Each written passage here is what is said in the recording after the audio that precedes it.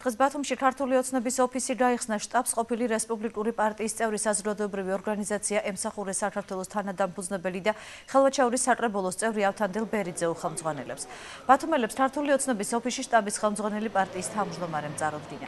მანანა კომბახიძის ინფორმაციით ბიძინა ივანიშვილი მალე დაასახელებს იმ კანდიდატის ვინაობას, ვინც ქართული ოცნების რიგებიდან საპარლამენტო არჩევნებში მიიღებს მონაწილეობას.